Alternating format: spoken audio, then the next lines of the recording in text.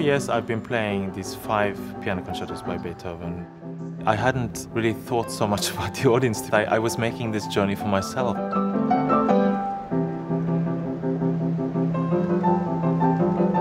This element of surprise and it's irrational. You don't know what you're going to hear in a few seconds.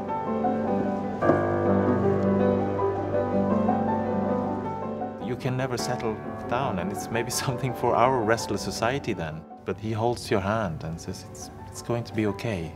You know, I've been through this struggle myself, this really human struggle and searching in this music and then very often or yeah, at least he tries to find a solution or a good answer to it.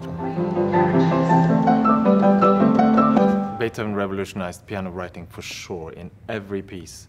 Uh, there is something new in every concerto. You get to the fourth concerto, you have wild passages. You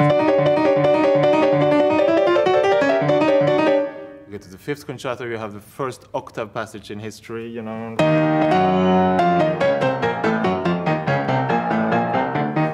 Every piano concerto in the Romantic age would have an octave passage uh, showing the virtuosity of the performer after this, but Beethoven was there first. With the third piano concerto, Beethoven becomes for sure more daring. I mean, he didn't have the range of, of, a modern piano, so it would go up approximately to here and down to here.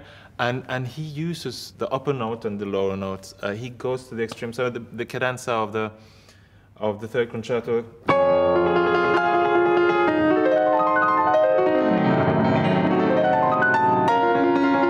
And then later on.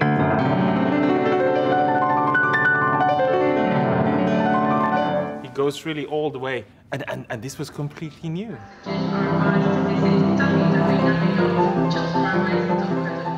We always say that about the great music, you can never get bored of it. But do we really believe it? I mean, for me, this was a real test.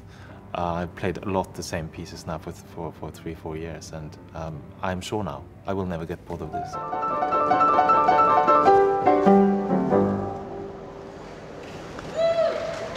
Ha ha ha.